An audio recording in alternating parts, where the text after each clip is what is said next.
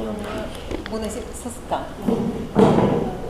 Bună ziua, bună ziua uh, tuturor. Uh, astăzi vă salutăm în incinta Muzeului de Istoria a orașului Chișinău, Turnul de Apă. Uh, este un eveniment uh, foarte special și deosebit, uh, care prelejuit uh, aniversării 585 de ani de la prima atestare a orașului Chișinău. Noi, din partea muzeului, salutăm inițiativa Direcției Cultura a municipiului Chișinău să fie marcată această, acest eveniment prin un șir de evenimente, inclusiv și un festival, festivalul dedicat orașului Chișinău. În cadrul Muzeului de Istorie a orașului Chișinău, astăzi, noi vom prezenta publicului expoziție de documente din arhivele muzeilor și bibliotecilor care sunt legate de istoria orașului nostru. Cu acest scop, noi am planificat și o masă rotundă la care o să vom, vom discuta problemele și faptele care sunt legate de trecutul și viitorul orașului nostru.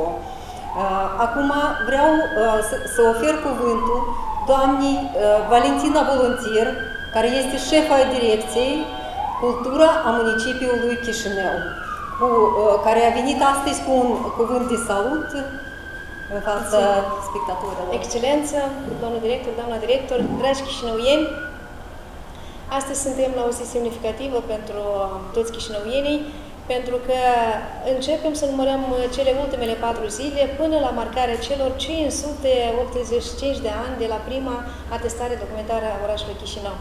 Un eveniment așteptat foarte mult de toți chișinăuienii, nu doar din aspect cultural, dar și din aspect științific și faptul că am abordat și am solicitat implicarea mai multor instituții în realizarea acestor manifestări, vorbește despre faptul că există potențial aici în interior, în Chișinău, și avem foarte mulți oameni de cultură, oameni de știință, care pot pune și valorifica imaginea orașului Chișinău, pot promova ceea ce presupune aspectul istoric a orașului Chișinău, arhitectural. Astăzi suntem aici la această masă rotundă, unde suntem enorm de bucuroși pentru faptul că s-a reușit, iată, obținerea acestor acte care atestă administrarea teritoriilor Chișinăului începând cu 1812. Nu, în 1336 este primul Da, dar vreau să trec spre deci, actul care vorbește despre prima testare a orașului Chișinău. Se află în Varșovia, în Polonia, și originalul, dar astăzi ne vom delecta, avem o copie frumoasă aici prezentată, cu care vă îndemnăm să veniți să faceți cunoștință, în speranța că în anul viitor vom avea, o vom avea în original, măcar pentru o perioadă, ca să putem fi mândri și noi, așa cum fiecare țară este mândră de o declarație de independență, exact așa, în aspectul istoric a orașului Chișinău, primul document care atestă sau se vorbește despre Chișinău, am vrea să-l vedem odată așa în original și sperăm că o să avem susținere în acest aspect. Noi vă dorim tuturor revelație plăcută și să fiți activi în toate cele manifestări care se propun a fi realizate în cadrul Festivalului Tesalon Chișinău, pentru că am atras foarte multă lume frumoasă care au ce vorbi, au ce povesti despre Chișinău și au anumite dedicații, realizări prin activitatea lor profesionistă. Muzeului de Istorie Orașului Chișinău dorim uh, mult succes pentru că uh, avem încă foarte multe a le pune uh, așa la cunoștință cetățenilor, a studia din aspect științific, astfel încât chișinăuienii să cunoască absolut toate amănuntele în raport din istoria orașului Chișinău. Mulțumim pentru prezență! Și cu acest scop am avut ono- onoare să invităm pe excelența sale domnului ambasador extraordinar și plenipotențiar al Republicii Polonia, Republicii Moldova, domnul Bartolomei Zdaniuc. Poftim. Da.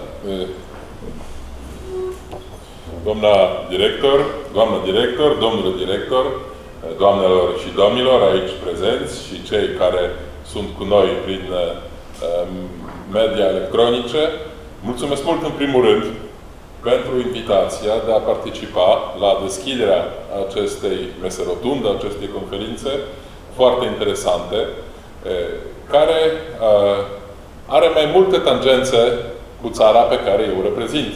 Și deja prima dumneavoastră ați menționat-o, și anume faptul că în arhivele poloneze se află documentul care atestă despre începutul municipiului Chișinău, celui de, de astăzi. Vreau să spun că fiind deja la al patrulea an de, de mandat, mă simt și eu deja ca un chișineuan adevărat. Sper să fiu acceptat și, și în această calitate. Și dați-mi voie să menționez câteva momente care cred că sunt foarte importante. Importanța acestei mese rotunde și, în general, instituțiilor pe care dumneavoastră le conduceți și mai ales noastră în calitate de director al Muzeului Istoriei Municipiului Chișinău, deci importanța este una crucială. Fiindcă trebuie tot timpul să ținem minte cine suntem și de unde am venit. În niciun caz nu putem să ne lăpădăm cumva de istoria din care am ieșit, de unde am venit. Sigur, trebuie să construim uh, prezentul și să luptăm pentru viitorul. Asta este un lucru absolut crucial. Dar dacă în același timp uităm ce a fost mai înainte, um, atunci cumva ne lepădăm de o parte a potențialului nostru foarte important. Polonia este o țară care, din păcate, ca și uh, poporul Republicii Moldova, în, sau mă rog, strămoșii poporului Republicii Moldova în uh, perioada de mai înainte, din păcate, nu a avut, uh, să zicem, o perioadă, liniști, o perioadă liniștită de a trăi, din potrivă. Se aflau într-o situație în care trebuiau să lupte pentru libertate, pentru independență. Și acest lucru rămâne relevant și astăzi, fiindcă uh, elementele din, din trecut au rămas în continuare. De ce la noi este așa? De ce nu este mai bine? Păi avem, avem o greutate, o pondere care, care vine din, din perioada mă rog, care, care a trecut deja și trebuie să ținem minte atât de aspectele pozitive ca și de aspectele negative, fiindcă ele pot explica într-o mare proporție unde ne aflăm acum și ce trebuie să facem. Și totodată, istoria este, atât, este foarte importantă, fiindcă avem și noi, prin uh, cunoașterea istoriei noastre, avem un lucru foarte important. O mândrie. Mândria nu este un lucru rău dacă știm să o folosim într-un mod constructiv. Mândria e un lucru prost dacă nu mai uh, se transformă într-o ură a altora. Atunci nu este o mândrie, ci este o prostie. Dar mândria care uh, are de-a face cu cunoașterea istoriei noastre, uh, elementelor, evenimentelor, momentelor care, care au trecut și ce, ce deja a, a, ca, care fac parte din patrimoniul nostru al tuturor, atunci este un lucru pozitiv și constructiv. Și nu suntem cei care vor uh, asculta niște povești, uh, niște povești uh, proaste de la alții. Europa așteaptă, Uniunea Europeană așteaptă Republica Moldova cu patrimoniul său. Și municipiul Chișinău face parte din acest patrimoniu.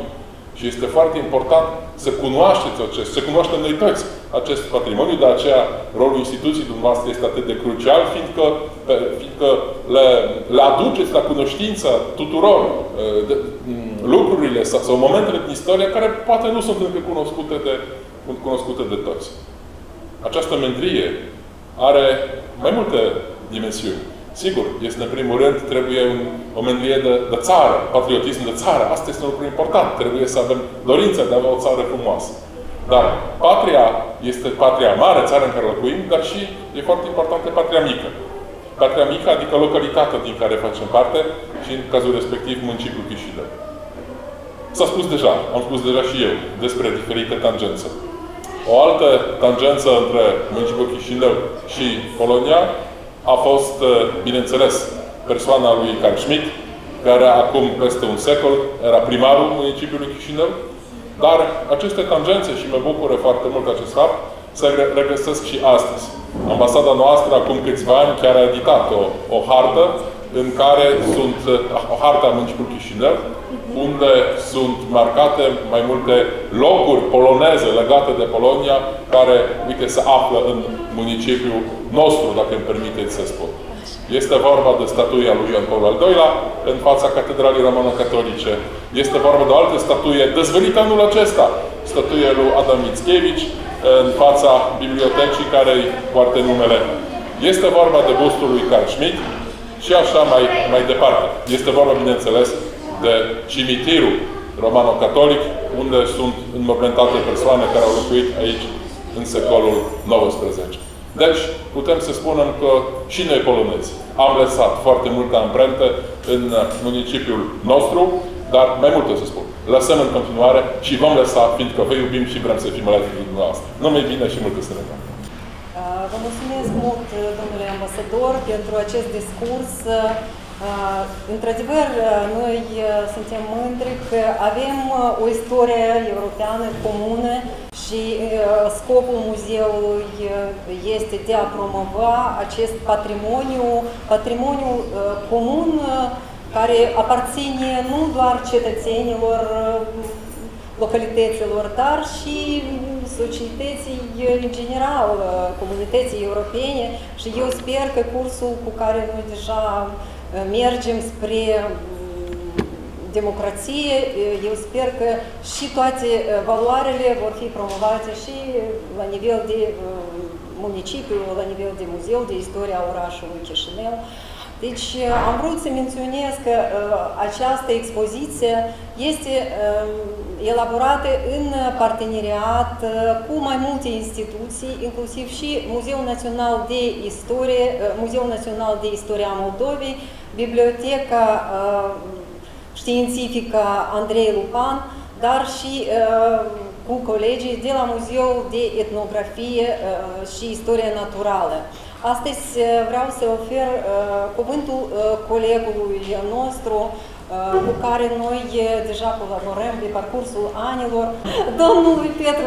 Excelență, domnule ambasador, stimată doamnă Unchir, dragă, dragi copii, dragi colegi, în primul rând vreau să vă mulțumesc pentru oferta care ne-ați făcut-o, să fim parteneri la organizarea acestui eveniment. Din câte eu cunosc, ne-am implicat, dar este așa o contribuție modestă și sper foarte mult în continuare ca instituțiile noastre, Direcția Cultura Municipiului, Muzeul Municipiului Chișinău, să ne unim forțele în organizarea și altor evenimente frumoase dedicate valorificării și promovării patrimoniului nostru cultural, nu numai la nivel de municipiu, dar și nivel de, la nivel de țară. Eu vreau să vă felicit pentru acest eveniment și mă bucur foarte mult că cu această idee frumoasă de a face o diferență între prima testare a municipiului Chișinău și hramul orașului, care sărbătorim în luna octombrie. De obicei, toți sărbătoreau în 14 octombrie, dacă nu greșesc, deci hramul orașului și mai puțin se vorbea despre partea istorică a orașului Chișinău, despre istoria municipiului, despre începuturile acestui aceste tradiții. Vreau să vă spun că cu siguranță mulți astăzi sau pe parcursul săptămânii curente vor afla că primul document în care se, se atestă orașul sau satul Batra orașului Chișinău, deci acest document în original se păstrează în arhiva din Polonia. Pentru mulți este o noutate și de acum acest lucru dă dovadă că tot ce se organizează este este bine, este frumos. Uh, muzeul pe care l-am onoarea să prezint ocupă un loc special pe harta orașului Chișinău, un muzeu care uh, a fost fondat uh, la sfârșitul anului secolului XIX, dar acest cartier complex muzeal are și el o istorie bogată care începe la mijlocul secolului XIX, chiar și un pic mai devreme și încerc să, să spun, cred că unii colegi mă vor corecta dacă greșesc, că este unicul cartier în orașul Chișinău în care s-au păstrat toate imobilele de patrimoniu.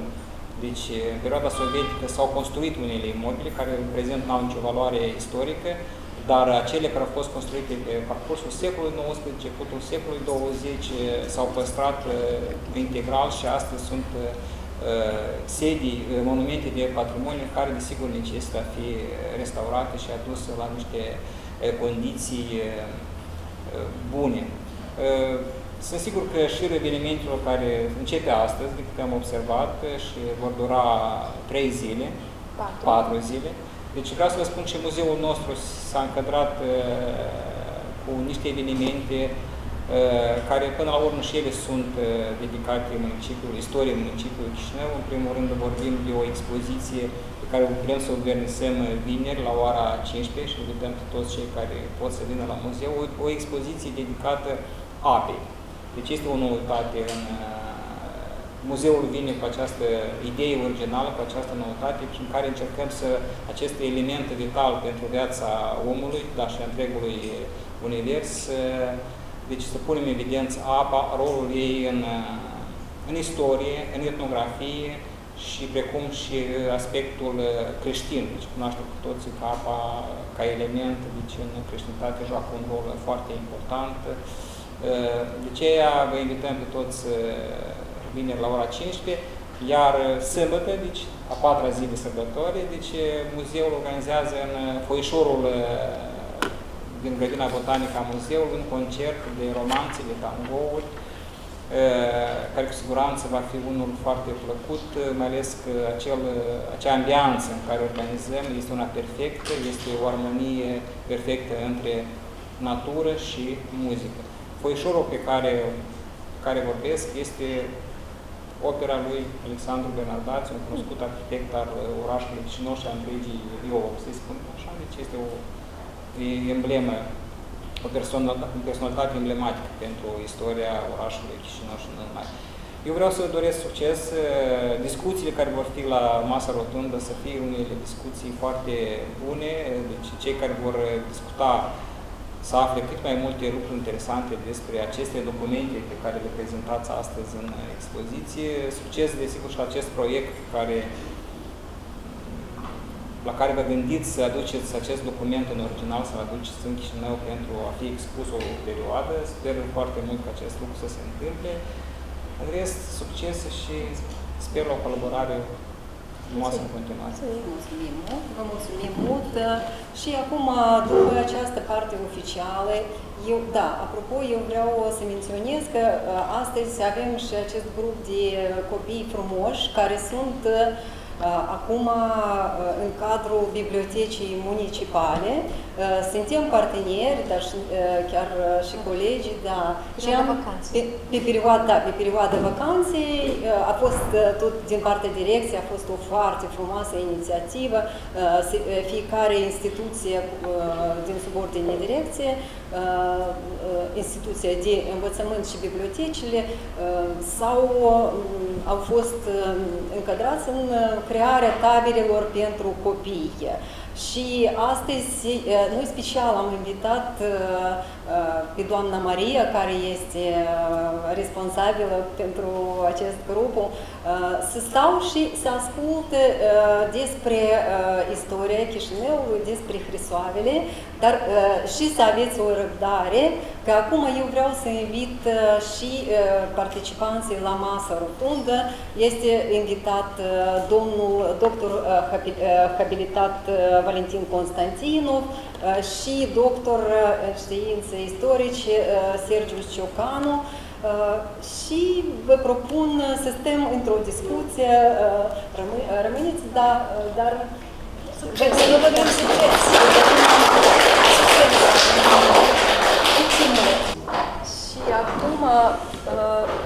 Într-adevăr, avem un moment foarte important și vrem avem o dorință să promovăm uh, lucrul care noi le facem în uh, comun cu cercetători, Deci lucrul în muzeu prevede și colaborare. În primul rând cu lumea științifică, și acum vreau uh, să ofer cuvântul domnului uh, Valentin Constantinov, doctor habilitat în istorie, care va, pri, uh, va, va mm, povesti detaliile despre acest Hrisov, care deja a fost menționat în cadrul discuției noastre. Doamna în limba poloneză. În limba poloneză. Ja mogę zaczynać w języku polskim, bo uwielbiam Polskę. I chętnie rozmawiam w języku polskim. Mimo tego, że właśnie ten dokument znajduje się w Warszawie. Acum o strec în română pentru că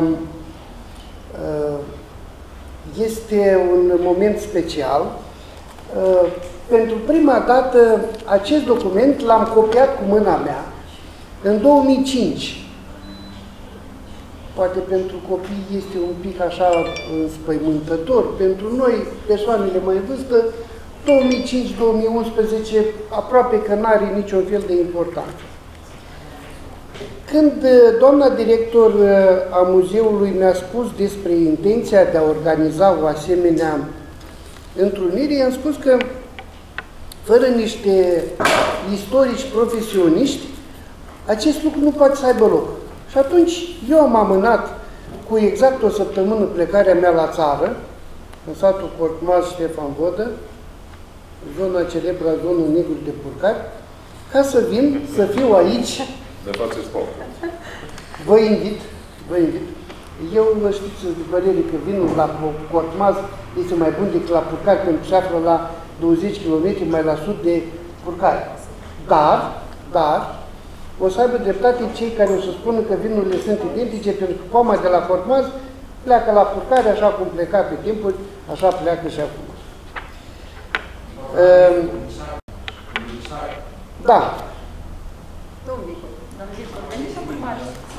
Eu am elaborat un text despre acest 1436. De fapt, ce se întâmplă în 1436 pentru că, din punctul meu de vedere, noi deseori memorăm odată, facem confuzie între prima mențiune și propriu zis înființarea, întemeierea unei așezări, unei localități.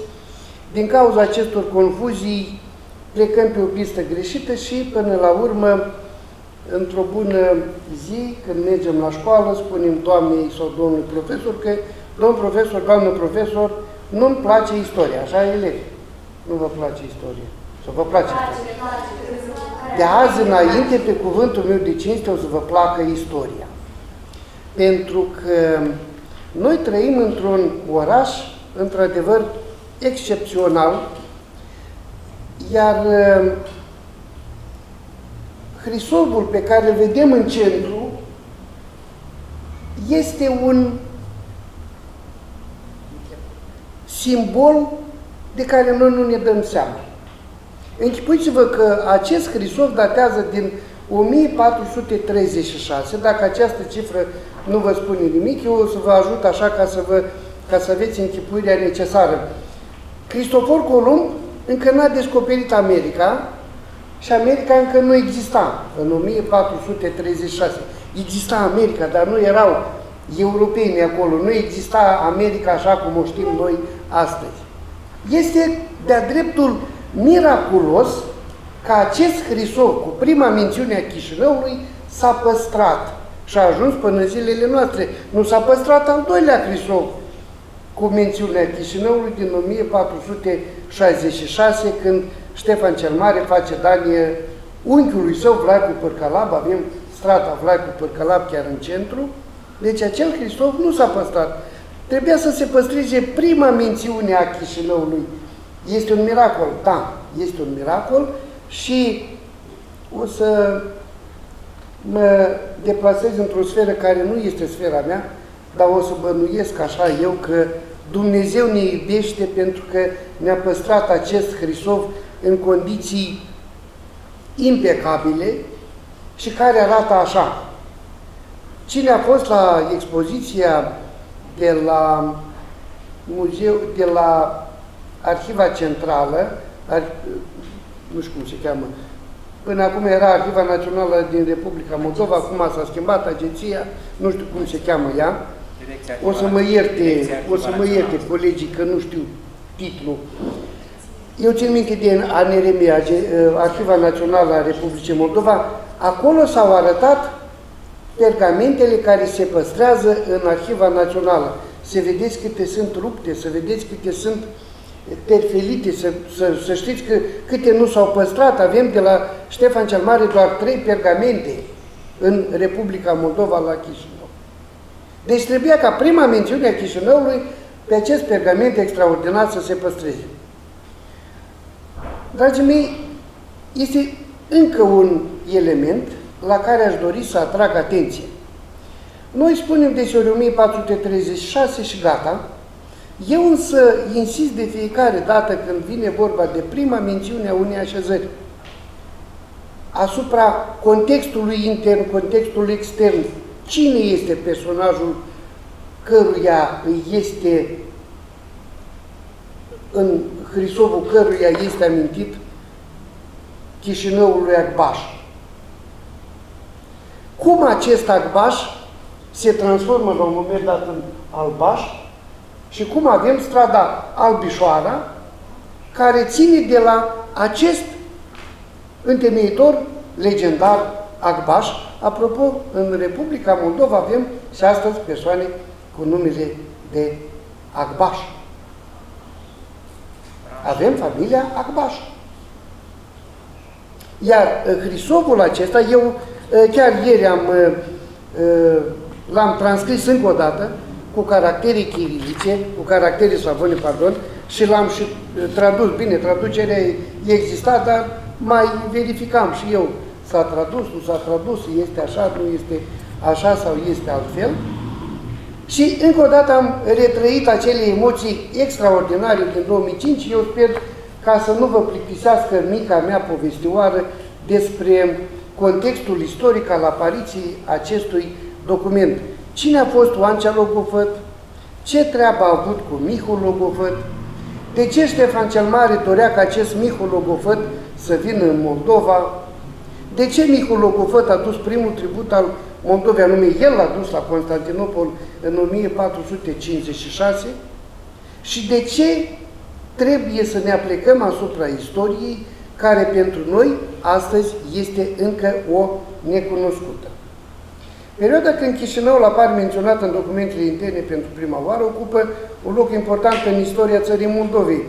În linii mari este vorba de răstimpul cuprins între moartea lui Alexandru cel Bun și urcarea în scaunul lui Ștefan cel Mare, adică perioada 1432-1457. Este prima dată când Moldova a trecut printr-o mare cumpănă a istoriei sale. Spre deosebire de perioada anterioară, în cei 25 de ani domniile s-au schimbat cu, cu o cadență uimitoare. Atunci au domnit șapte domni. Ileaș, Ștefan al doilea, Roman al doilea, Petru al doilea, Alexandrel, Bogdan al doilea, Petru Aron. În plus, aceștia au mai domnit și de câteva ori. Perioada a început cu rivalitatea între cei doi frați, Ilie și Ștefan, al doilea pentru tron. Alexandru cel Bun, spre sfârșitul domniei sale, implicase Moldova într-un război antipolon alături de Lituania, Ungaria, țara românească și Ordinul Teoton. Urmașul său în scaun, Iliaș, a continuat această luptă, dar înfrângerea coaliției antipolone a dus și la căderea din, lui din scaun în 1433. Folosindu-mă de ocazie, vreau să atrag atenția. Noi cu Polonia totdeauna trebuie să trăim bine. Cât am trăit bine cu Polonia, în Moldova lucrurile au mers cum trebuie. Cum ceva s-a schimbat, lucrurile s-au deteriorat și este și acest caz elocvent. După ce tronul țării a fost ocupat de Ștefan al II-lea, Ileaș a adunat o nouă armată cu care l-a învins pe fratele său în 1435. Rivalitatea între cei doi a dus la o situație ieșită din comun. Ei se împacă și hotărăsc să împartă țara în două, în care fiecare dintre frați domnea pe partea sa. O asemenea situație nu vom mai avea în Moldova niciodată. Acest lucru s-a produs în 1436, după bătălia de la Piperești. Vor domni împreună până în 1442, când Ștefan al II-lea l-a alungat pe Iliaș, iar mai apoi în 1444, când acesta a încercat să rea tronul, l-a orbit. Fără să reluăm firul tuturor evenimentelor petrecute între 1432 și 1457, vom aminti aici că această luptă se va implica și Alexandrel, fiul lui Iliaș. Alexandrel va ocupa tronul țării în câteva rânduri pe o perioadă scurtă de timp. Prima oară va deveni domn la sfârșitul anului 1444 și până în 1449, 12 octombrie, o să arăt cât de importantă este această dată pentru istoria Moldovei. Iar mai apoi va domni între 1452-54 și câteva luni în 1455. Așadar, la 17 iulie 1436, când avem acest domn minunat, când avem acest Hristos minunat, ne aflăm în plină instabilitate politică din țara Moldovei. Chiar și mai târziu, înainte de domnia lui Ștefan cel Mare, când au existat doi suverani, unul din ei era subordonat celuilalt, iar odată cu 1436, cei doi frați, Iliaș și Ștefan, domnesc împreună.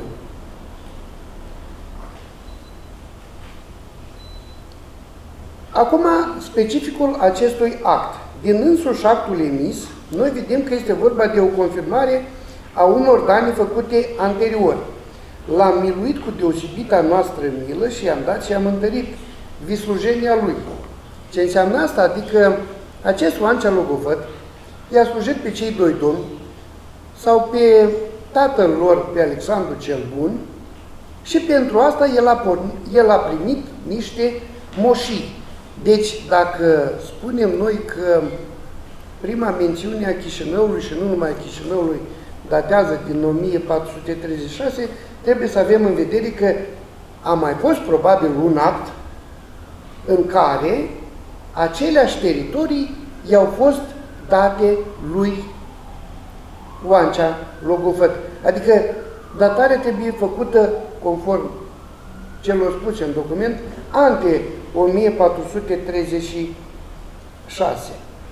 Al doilea element care merită aici menționat este că satele și locurile în pustie pe care el mai înainte le-a primit, nu îi erau de moștenire, ci danii din partea Domnului. Din acest punct de vedere este semnificativ faptul că, așa cum menționează documentul, Oancea l-a slujit încă pe Alexandru cel Bun, fără să se precizeze detaliile acestor slujbe. Cert este că în calitate de diac, Oancea este înlocuit în, în documente încă din timpul domniei lui Alexandru cel Bun. Putem anticipa aici faptul că, știind derularea de mai, de mai departe a evenimentelor, Oancea Logofăt făcea parte din tabăra susținătoare a lui Iliaș Voievod. Acest fapt îl deducem din punctul de vedere al colaborării pe care ulterior el o va avea cu fiul lui Alexandrel. Despre Oancea mai știm că el a fost căsătorit cu fica lui Iurghici, părcălap de Cetatea Albă.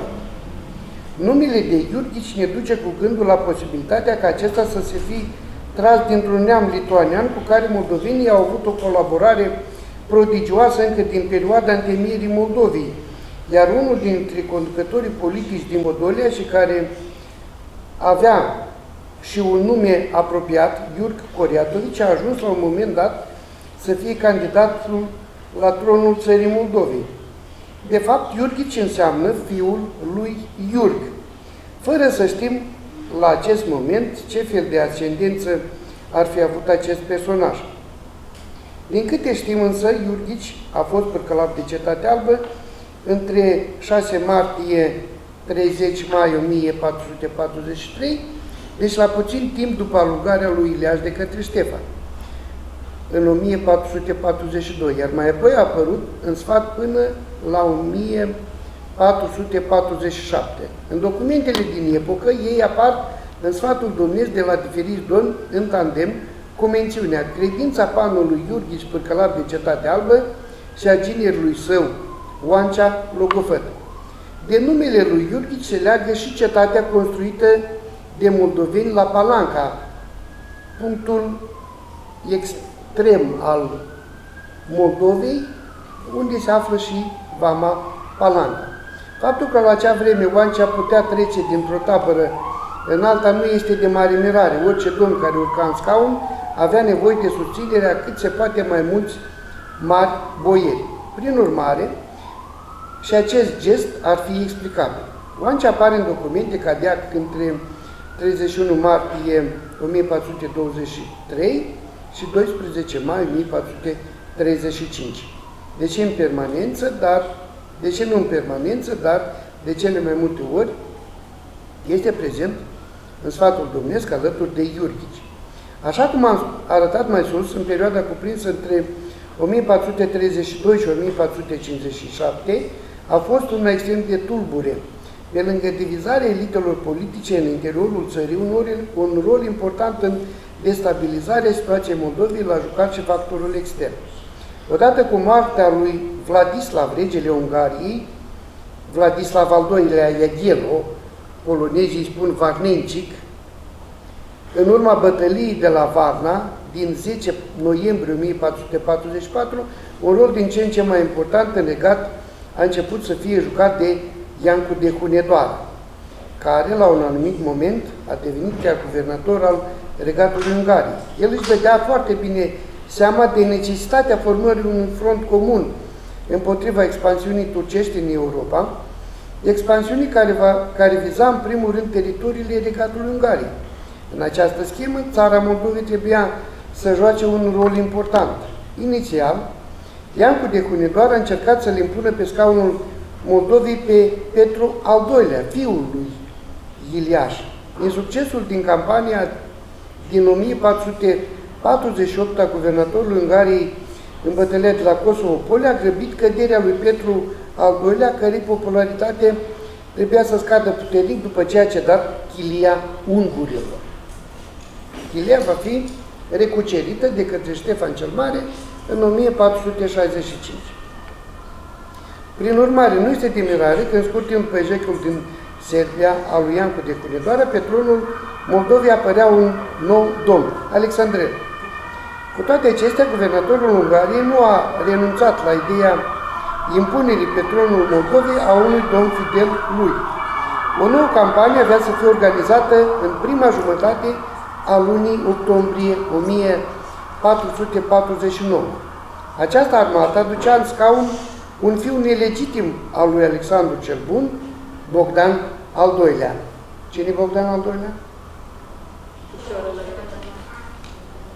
Tatăl lui Ștefan cel Mare. Bogdan al treilea e fiul. Letopisetul anonim, scris la curtea lui Ștefan cel Mare, are această mențiune. În anul 6957, nu, gre, nu greșesc, încă o dată, în anul 6957, de ce 6000? Pentru că sunt anii de la facerea lumii, de la Adam. Ca să aflăm anii de la Isus, trebuie să scădem 5508. Luna octombrie 12 a venit Bogdan Voievod și a lovit pe Alexandrel Voievod la Tămășani, lângă târgul Romanului și a omorât o mulțime dintre panii lui. Oancea Logofăt și Costea Andronic și alți mulți au fost omorâți. Așadar, destinătarul întăririi din 17 iulie 1436, în care pentru prima dată este amintit Chișinăul, a fost omorât în bătălia de la Tămășani, care a avut loc între armata, lui, între armata tatălui lui Ștefan cel Mare, care avea ajutoare de la Iancu de Cunedoara, și armata nepotului lui Alexandru cel Bun, Alexandria. Vom mai adăuga și faptul că cel de-al doilea pomenit în lista celor omorâți în acea bătălie, Coste Andronic, de asemenea a fost personalitate marcantă a epocii sale. Membru al Sfatului Domnesc, este întâlnit fără titlu, între 1437-39, Logofăt 1440-42,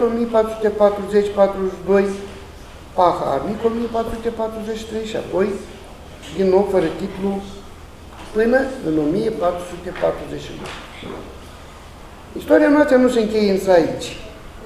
În acele vremuri turburi, cu un parcurs asemănător celui al lui Oancea Logofăt în Moldova, și-a desfășurat activitatea o altă personalitate marcantă a epocii, Mihu Logofăt. Ce este semnificativ între Mihu și Oancea trebuiau să existe niște relații de rudenie foarte apropiate. Ambii au început activitatea în timpul lui Alexandru cel Bun, ca dieci de cancelare, ambii vor ajunge mai apoi logoveți și ambii vor face parte din tabăra lui Alexandrel. Alexandrel l-a numit pe Mihu Logofăt prieten, drept și credincios. Moșile lui Mihu se află lângă cele ale lui Oancea sau o parte din moșile lui Oancea vor fi preluate de către Mihu Logofăt. Odată cu urcarea lui Ștefan cel Mare în scaun, Mihu nu va însoți pe Petru Aron în pribegia lui, ci se va stabili la Liov, de unde va duce o activitate comercială foarte prodigioasă. În zădar a încercat Ștefan cel Mare să-l convingă pe Mihu să se întoarcă în țară. Numeroasele salvconducte, așa și-au rămas fără răspuns din partea influentului boier. Cât de importantă era la acea oră Mihu Logofătul, mărturisește măcar faptul că anume lui s-a încredințat să ducă primul tribut al Moldovei la poartă. Cel mai important element în relația apropiată între Oancea și Mihu Logofăt constă în faptul că noi nu știm ce, ce ar fi fost cu actul nostru dacă nu le-ar fi luat toate grămadă Mihu Logofăt în Polonia, acolo unde va găsi adăpost. Actul în cauză se păstrează împreună cu celelalte acte care au aparținut lui, Oan, lui Mihu Logofăt, alături de celelalte cu caracter politic extern. Aceste acte cu caracter intern sunt o dovadă a unei istorii foarte zbuciumate, a unei țări aflate la răscrucea tuturor relelor, vorba lui Grigore Ureche, cu o istorie atât de fascinantă, dar, din păcate, atât de recunoscută la noi. Mulțumesc! Vă mulțumim mult! Vă mulțumim, vă mulțumim mult, domnule Constantinov, pentru da. acest discurs foarte important pentru ziua de astăzi, dar și eu, din partea muzeului, vă invit să colaborăm și în continuare deci, aceste um, cercetări neapărat trebuie să fiu promovate și să fiu promovate prin muzeu, dar să adaptăm toată această informație pentru, începând de la cei mici până la cei mari. Și acum, într-adevăr, sunt într-o eră, eră globalizării, dar și tehnologiilor noi. Și eu mă gândesc că toate aceste istorii ar fi bine să punem într-un format și online, să introducem chiar și în muzeul nostru niște lucruri mai moderne. Că, dacă ați observat, copiii într-adevăr au stat, au ascultat, dar cred că capacitatea lor nu este așa de de mare la moment și noi, este sarcina noastră, muzeografilor, cercetătorilor, să propunem istoria noastră într-un format mai, mai adaptiv pentru da? mai accesibil. Și eu cred că noi avem multe provocări și avem la ce lucra. Vă mulțumesc mult încă o dată. Eu mă bucur că din 2005, uh, de când mă aflu în Moldova, în sfârșit am ajuns și eu la Muzeul Istoric și Bine ați venit, da. Dar vedeți că, într-adevăr, noi avem un potențial și putem să-l dezvoltăm păi, și să putem să atragem și încă o dată, în, încă o dată, istoria Chișinău, istoria lui Oancea Lugofăt, micul Lugofăt, ne arată nouă că noi suntem partea istoriei Moldovei, acea glorioasă, uh, impresionantă, extraordinară. Păi hai să o facem publică poporului. Da. Și acest lucru nu, nu o să o facă nimeni în afară de muzee, de biblioteci, de uh, Noi, cum să vă spun, eu am avut datoria mea să mă formez ca specialist, m-am format ca specialist, sunt format, vă pot citi acum da. ce scrie în acest document, eu sunt la dispoziția dumneavoastră, dar chemați-mă. Eu, eu bat clopotele, spun la toată lumea, chemați-ne în Republica Moldova, chemați-ne în raioane, chemați-ne la biblioteci. Noi venim, vă povestim istoria asta care este necunoscută, pentru că, atenție, istoria necunoscută, ea nu există. Exact, exact. Și o să avem un an 1436, taci Ioancea, taci cu dânsul, dacă a fost important, dacă nu a fost important, e dar nu mai fost el important, chiar, chiar așa de important fi fost el. Și mai ales și concluzia. Uh, Ștefan, uh, reședințele lui Ștefan se află în România, Ștefan îngropat în România, mănăstirile se află în România, noi nu avem nimic.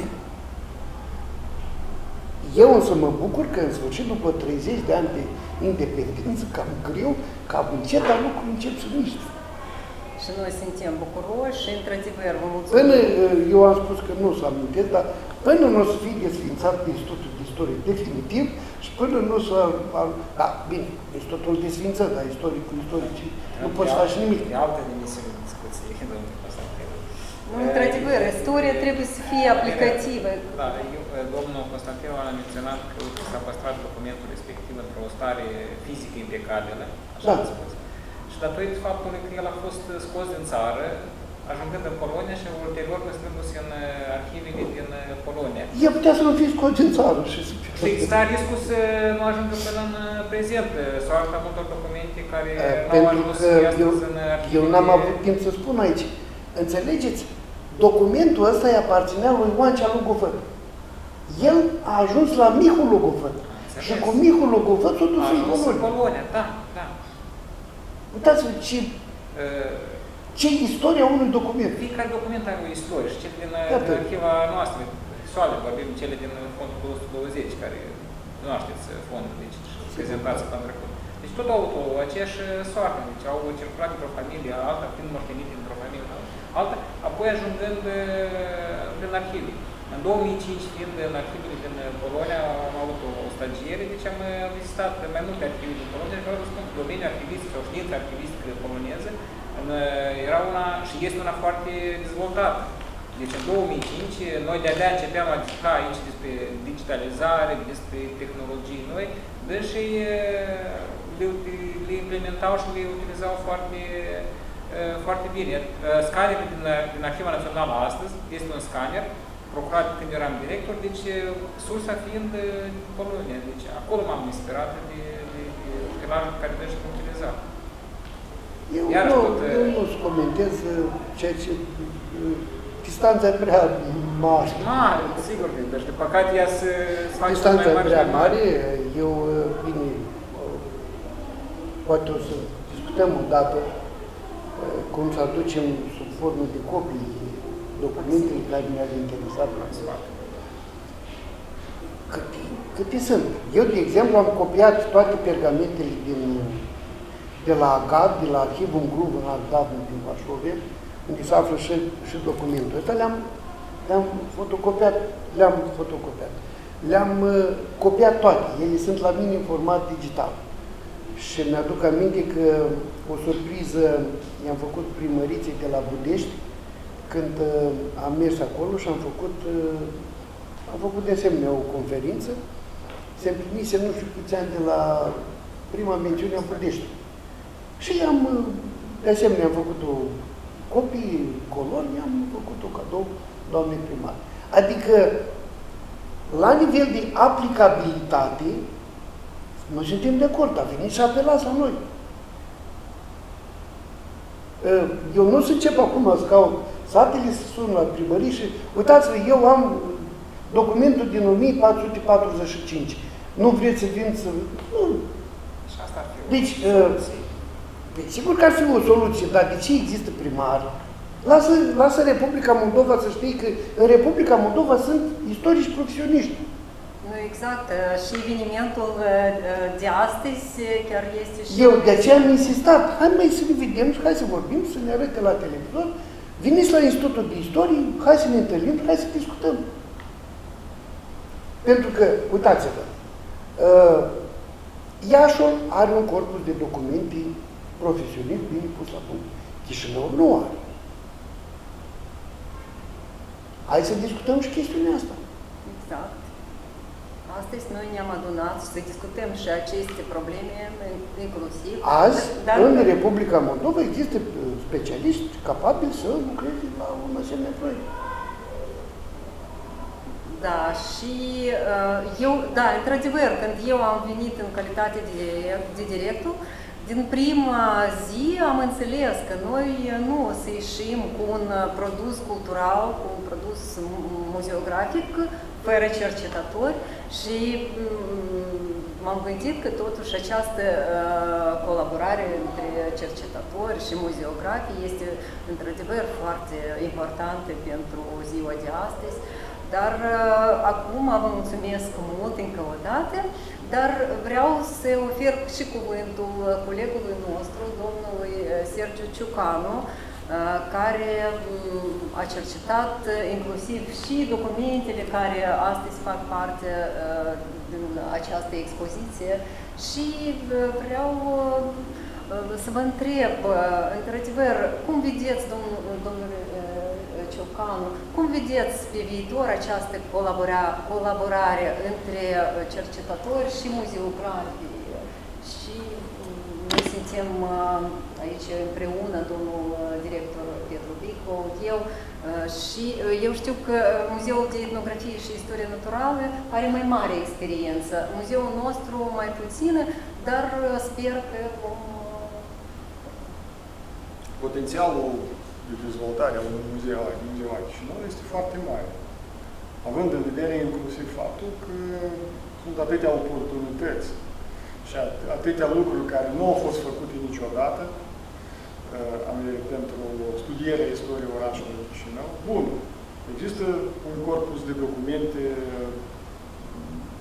mai mult sau mai puțin bine cunoscut, uh, cunoscut de specialiști, puțin cunoscut de publicul larg, dar,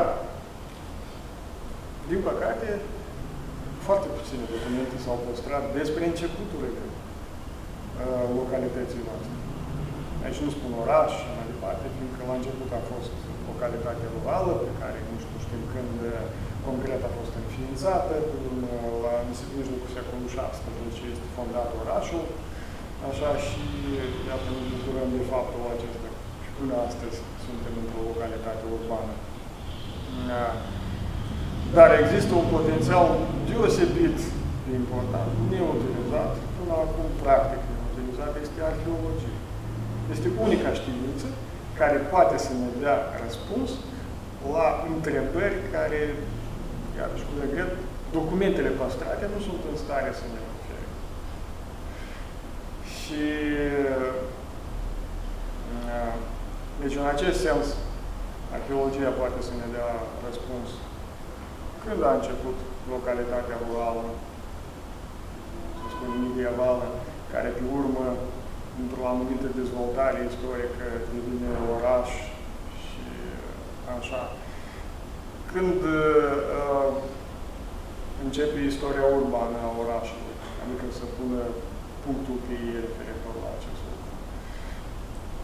Uh, și cele câteva intervenții uh, arheologice care au, au avut loc pe, pe teritoriul orașului, este vorba de două săpături de, salva, de salvare, care toate s-au început în 2010-2012 și o singură săpătură făcută fără, fără grabă. Cele de salvare, de ce și au fost de salvare, când majoritatea materialului a fost distrus și arheologii au recuperat rămășițele acelea acel, acelor lucruri extraordinare care erau acolo. A, în 2018 a fost o săpătură de 10 pe 3 metri în curtea bisericii armenești, din Chișinău, vechi biserici armenești, care au dat un material extraordinar de bogat. De bogat. referitor la înțelegerea ce însemna viața urbană aici. Dar, desigur, acest lucru nu este deloc uh, îndeajuns. Uh, și în acest sens, rolul, orașului, rolul Muzeului Orașului Chișinău este deosebit de important.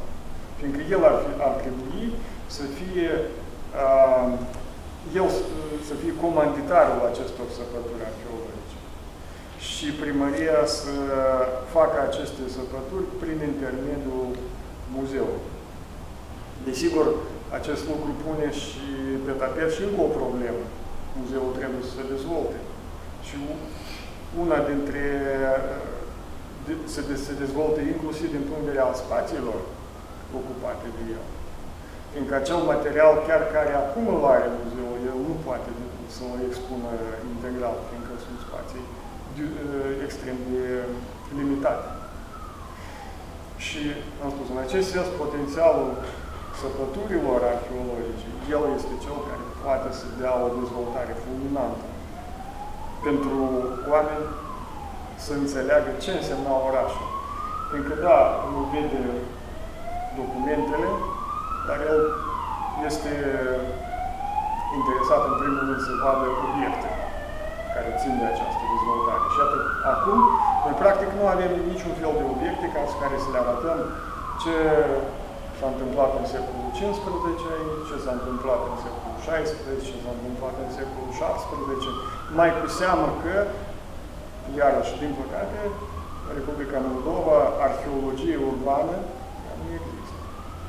Așa au căzut zarurile în trecut, așa este situația moștenită din trecut astăzi, dar această arheologie urbană ea trebuie dezvoltată. Fără ea, răspunsuri, răspunsuri punctuale la întrebările generale ale istoriei nu pot fi date. Da.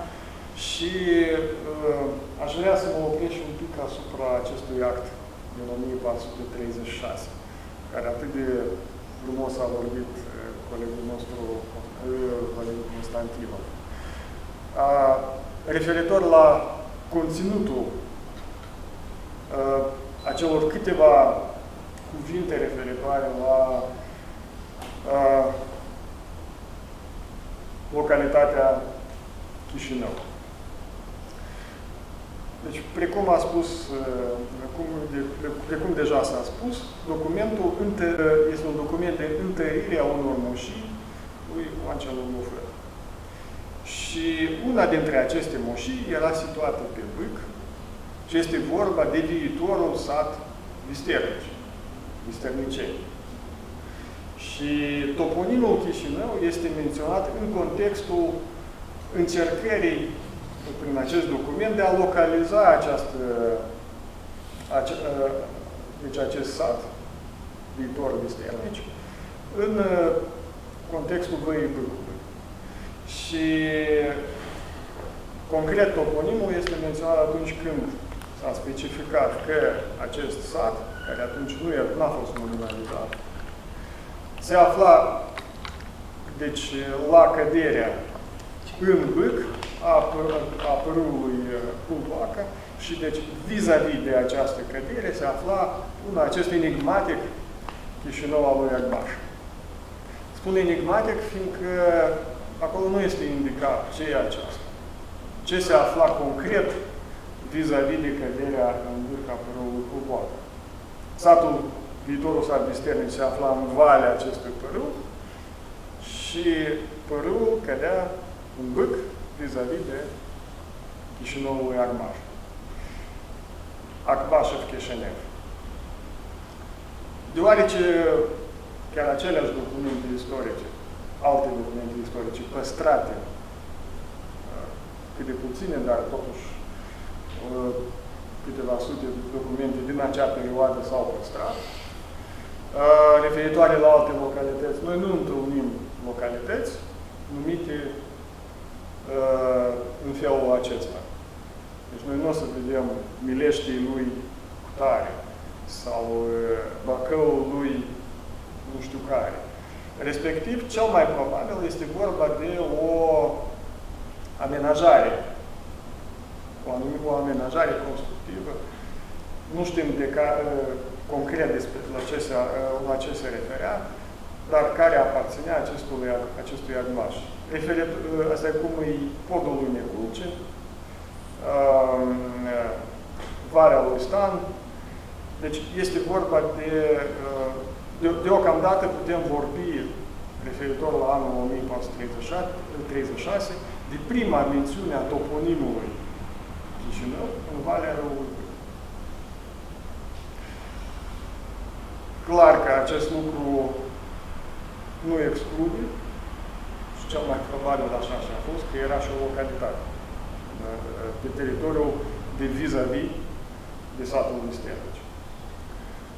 Prima mențiune a unei localități foarte clare în, pe teritoriul viitor al, al Chișinăului este la 1466. Acel document care în original nu s-a păstrat, s-a păstrat într-o copie, uh, într-o traducere în limba română făcută în secolul al XVIII.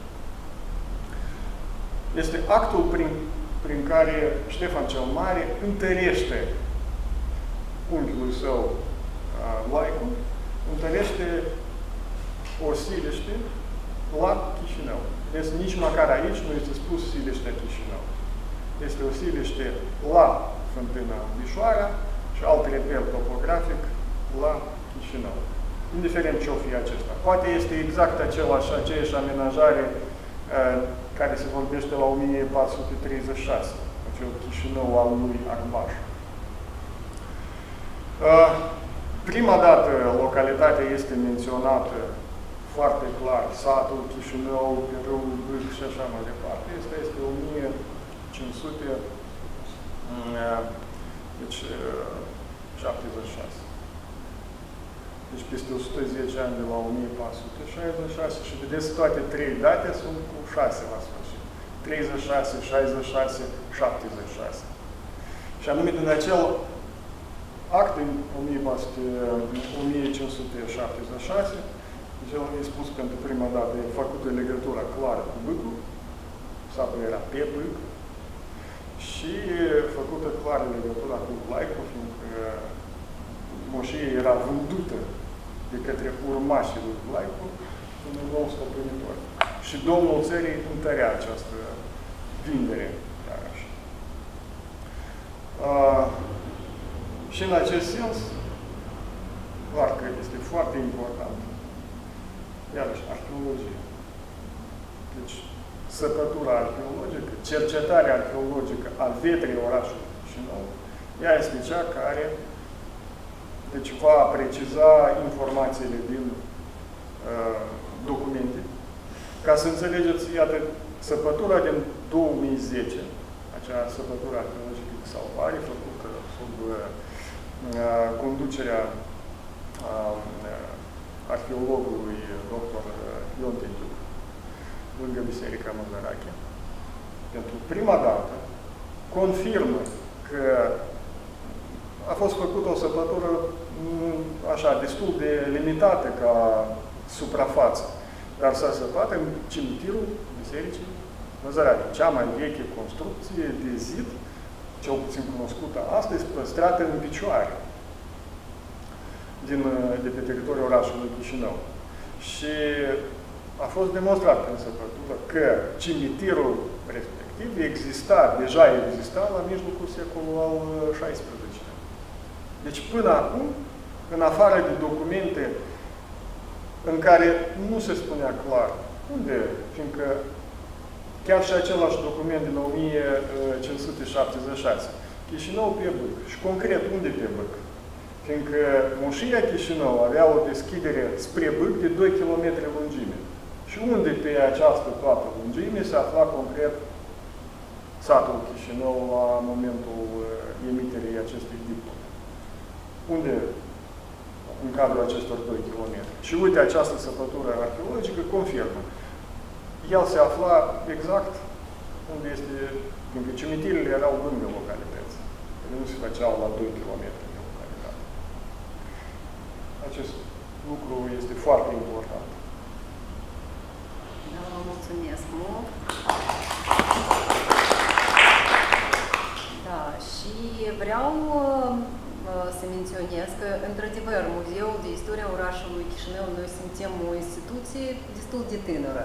Nu ne putem compara nici chiar cu Muzeul de Istoria Naturală și Etnografie, a fost, muzeul nostru a fost fondat în 1979, pe data de 3 decembrie, și această perioadă când s-a început completarea fondurilor, clar că a fost perioada sovietică și, într-adevăr, noi n-am reușit în această perioadă să colectăm artefacte, documente care sunt original și care sunt legate de istoria perioadei despre care este astăzi vorba. Dar, totuși, atunci colegii mei au reușit să, complete, să completeze și prin copii dacă știți bine expoziția noastră, la etajul 2, noi avem copii făcute, nu, nu facsimile, dar chiar și artistice, după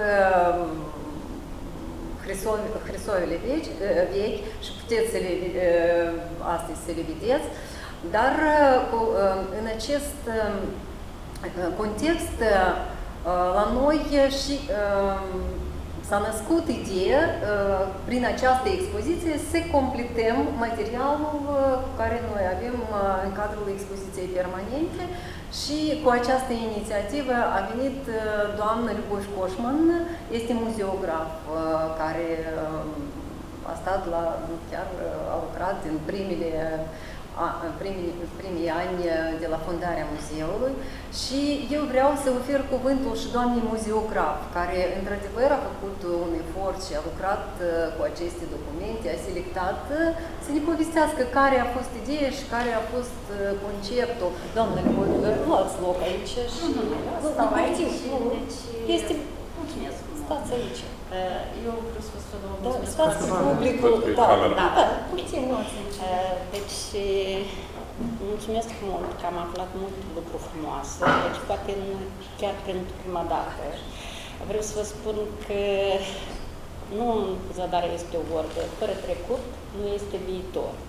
Și atât când am început noi să lucrăm în muzeu, știți că primul Hrisov, care era pe timpul sovietului, era 1466. Pentru noi era o dilemă. Cum să lucrăm când la două expoziții? Nu eram încă cunoscut Hrisov de la 1436.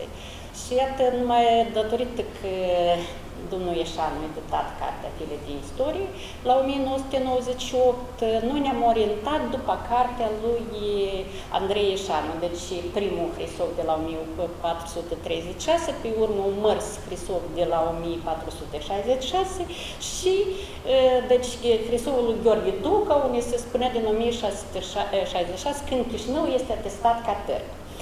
Mai departe, deja am găsit în Arhiva Națională, deci era o fugăreală, că erau schimbări acolo în Arhiva Națională, deci s-a închis Institutul de Istorie, a trecut la bibliotecă, unde deja fetele au început să citească aceste hrisoave și am dovedit și am găsit hrisovul din 1576, care dumneavoastră ați subliniat, deci 1641 și se finisează cu hrisovul de la 1795. Ce vreau să vă spun? Acum deja mi-a venit ideea, deci doamna Valeria întotdeauna mă susține când avem o idee așa și vreau să vă spun că m-am dus deja la biblioteca Andrei Lupan și nu erau hrisoavele, nu știu, nu pot să vă spun unde sunt, dar ceea ce am găsit am pus în expoziție. Deci, iată, avem uh, o copie a unui Hrisov din 1608 al lui Constantin Movilă, din 1611, unde se vorbește despre satele Buicani și Hrusca. Și mai departe deja merge cu anexarea Basarabiei la Rusia. Deci de aici se începe din 15 martie, când toate moșile Hrusca, Buicani sunt donate Chișinău, adică administrații guberniale, cum era, fiindcă noi trebuie să-i mulțumim lui Scarlat Sturza, lui Bănulescu Bordone, că el, datorită lui, a ales viza de reședință Chișinău și datorită lui, noi suntem acum cine suntem, așa, deci suntem o capitală a unui stat, cum s-ar spune, dacă nu european, că n-am intrat în Uniunea Europeană, dar sperăm că ne găsim și noi în Uniunea Europeană și o să fim, și o să fim foarte, nu foarte... Uniunii Europene. Dar știți, eu cu domnul Sergiu am mai discutat chestiile Hristos și odată mi-e de gând așa pe drum, vorbeam.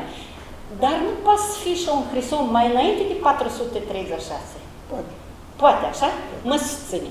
Și nu la urmă vreau să închei, nu vreau să țin un citat mare, dar vreau să-i să mulțumesc doamna Valeria că datorită ei, eu m-am dus, am găsit, am selectat, dar ea s-a dus și a, a dus la tipografie, a fost un... Dar vedeți, am întemeiat și am finisat o expoziție frumoasă, care acum putem să vorbim, să discutăm. E așa? Uite asta. Vă mulțumesc mult. Asta ce am vrut să vă spun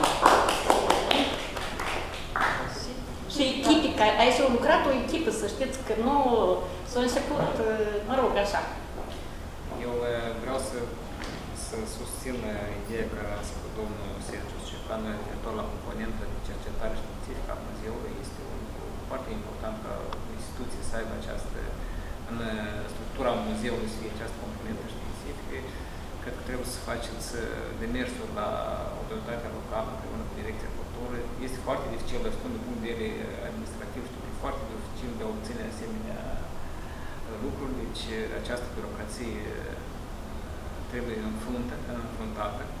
Și domnul Sergiu a vorbit despre arheologie urbană, aș completa aici și etnografia urbană, prin care s-ar putea demonstra deci, evoluția și trecerea unei localități rurale la o localitate urbană. Deci, dacă aveți nevoie de susținerea muzeului nostru, sigur, componenta aceasta uh, etnografie urbană există la Muzeul de Etnografie, ea este chiar și prezentată în expoziția permanentă, dar cu siguranță acest uh, subiect poate fi dezvoltat uh, și dacă aveți nevoie de susținerea noastră, cu mare drag.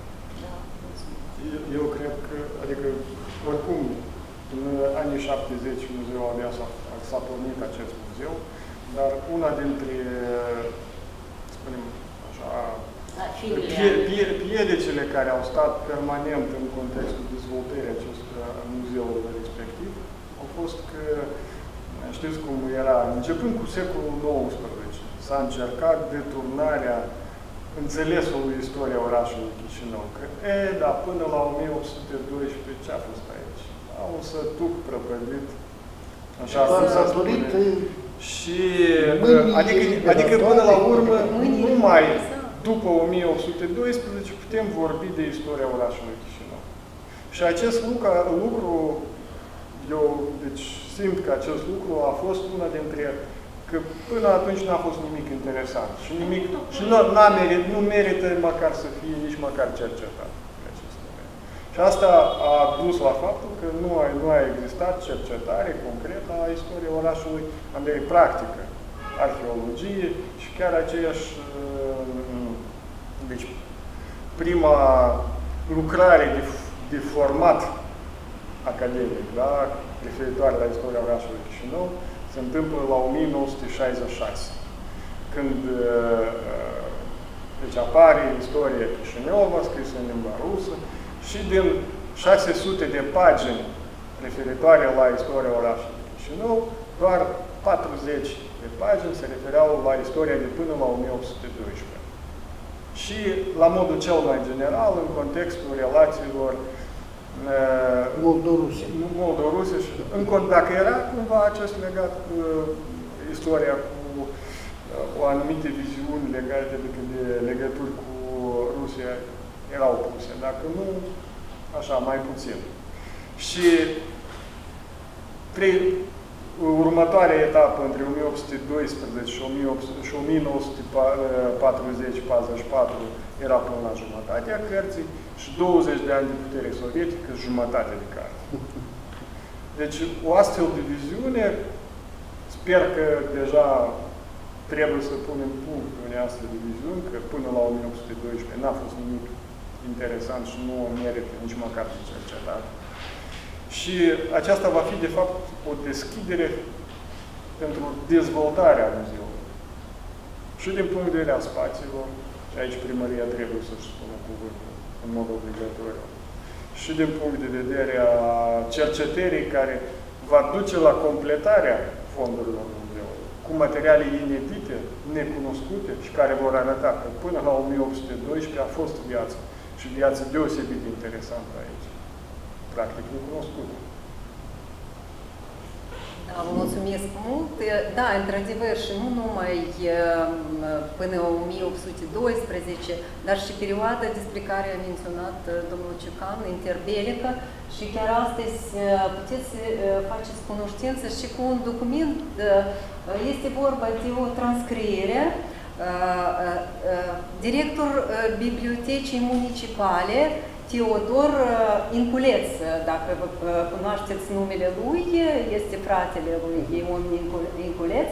El în 1920, 1929 a lucrat cu acest Hrisof și vedeți, chiar cu mâna, cu semnătura lui, este scris, verificat. Într-adevăr, și chiar în perioada interbelică s-a făcut cercetări, s-a lucrat și cu aceste documente, dar toate documentele acestea care se află astăzi în, la uh, biblioteca, uh, biblioteca la biblioteca Andrei Lupan au fost trimise din Biblioteca Municipală Chișinău. Dacă vedeți, pe fiecare copie este și ștampilă în limba română, Chișinău, da, Biblioteca Municipală Chișinăului din perioada interbelică. Și tot este un fapt foarte interesant și deja este, toate copiile acestea sunt, deja sunt istoric, apropo,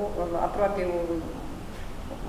100 de ani a trecut uh, din această perioadă și eu invit uh, publicul uh, neapărat să veniți la muzeu și să studiați, să vedeți că, într-adevăr, viața a existat și, într-adevăr, Chișinău are mm, o istorie mare. Și la sfârșitul evenimentului de astăzi, cred că, domnule excelență, ambasador, aveți o, o mică concluzie și puteți să mulțumesc mult.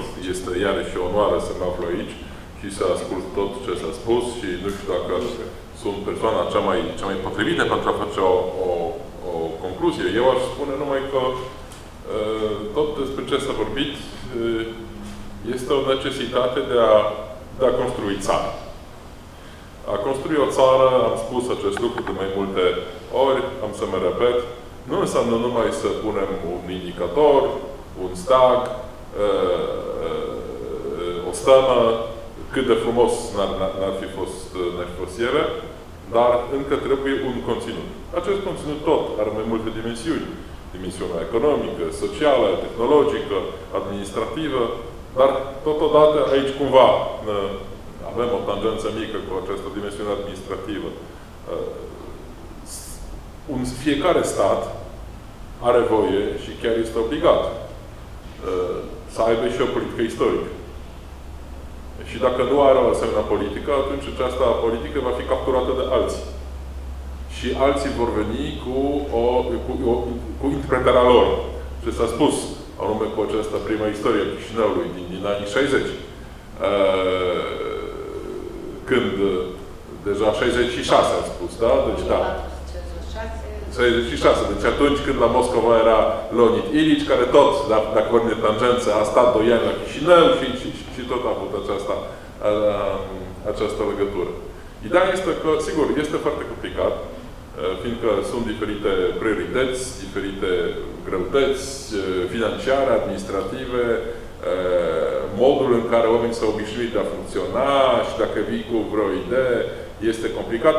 Și în Polonia este, bineînțeles, același lucru, că bun, unii s-au obișnuit să, să funcționeze așa și la un moment dat vii cu o idee și cumva deranjezi, fiindcă cineva este obligat să iasă din zona de confort.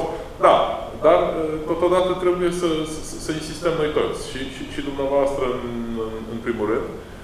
Eu, și, și sigur, să, pe de o parte să faceți tot pentru a găsi resurse, pentru a dezvolta resurse, poate așa să spun, dar totodată și acest aspect foarte important și cel de popularizare de popularizare pentru ca să, să, să cunoască multe lucruri și, și oameni. Deja am constatat, poate mai mult din istoria recentă a teritoriului Republicii Moldova de astăzi, mă refer la perioada sovietică, multe lucruri au fost deja cercetate. Și există deja multe cărți unde se poate găsi multe lucruri foarte interesante. Numai că întrebarea cât de mult știe cetățeanul de rând. Și aici este important ca pe lângă partea de cercetare, care este sigur piatră de temelie a fiecărui efort, trebuie să fie și aceeași dimensiune de popularizare. De exemplu, mă, am început să, să visez un pic în timpul acestei mese rotunde și, de exemplu, de ce nu să vedem cândva un, un film, poate un, o, poate un, un film, adică forma clasică sau unul realizat prin, prin calculatoare, măcar de 15 minute. Uite, cum a putut să... Cu, cum a fost Chișinău de acum 3, 4, 5 și așa mai, mai departe, sute de ani. Cum a existat? Cum a fost? Ca, ca să imaginăm mai bine. Fiindcă m- omul de astăzi cumva se, se întoarce la perioada Egiptului antic, deci la, la, la hieroglife. Noi avem nevoie de imagini. Suntem acum, deci generația noastră și cele care vor urma și mai mult, sunt nu, nu cele de text, nu cele de alfabet, ci cele de imagini. Și dacă vrem să uh, cumva creăm, să, să întărim, să modelăm modul de gândire al omului, repet, dacă noi nu facem acest lucru, alții vor veni și, și, și, și îl vor face. Și știm deja, și dumneavoastră știți deja din istoria dumneavoastră cât de periculos este acest lucru. Deci, ca să, să, să venim și cu un mesaj, el trebuie să fie unul atractiv, adică pe, pe lângă partea științifică, care este foarte importantă cu întreaga metodologie, trebuie să fie și, și acest element de popularizare.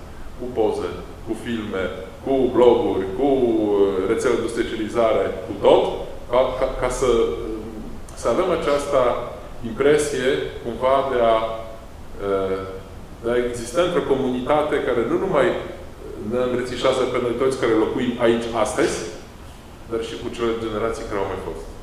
Au fost acum uh, zeci și, și, și sute de ani și, și atunci înțelegem că facem parte dintr-un lucru mult mai mare, mult mai înrădăcinat, mult mai frumos, mult mai, mă rog, sofisticat, poate, sau, mă rog, cu mai, mai, mai, mai multe elemente. Și aici este un rol uriaș pe care îl are instituția ca instituția noastră, adică, adică muzeul și, bineînțeles, universitar. Eu însumi vin din lumea universitară, deci îmi dau seama foarte bine cât de important este acest lucru. Mă bucură foarte mult faptul că deja se pune asemenea întrebări. Dacă se pune asemenea întrebări, asta înseamnă că vor fi cumva și niște răspunsuri. Și de fiecare pas trebuie să ne bucurăm, că paharul este plin până la jumătate și acum ce să facem ca să umplem și, și, și partea a doua. Încă o dată, numai bine și, și la mulți ani. おうもすみどすも。